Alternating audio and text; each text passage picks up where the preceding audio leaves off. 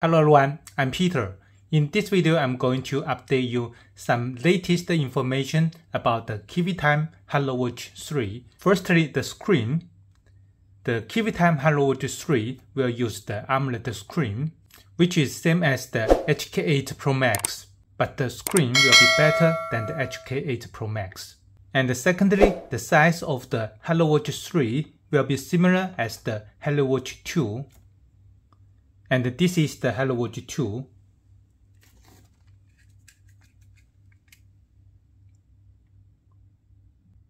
The size will be similar and thirdly the Hello Watch 3 will also have the circle of antenna here which is same as the Hello Watch 2.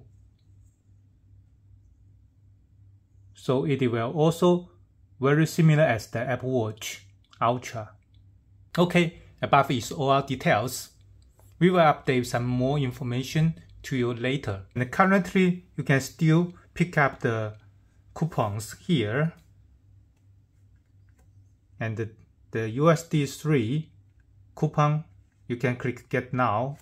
And after the watch is launched, you can order with the special promo code. So above is all our details. If you like our video, appreciate you can subscribe our channel and share to your friends. Thanks for watching. Bye.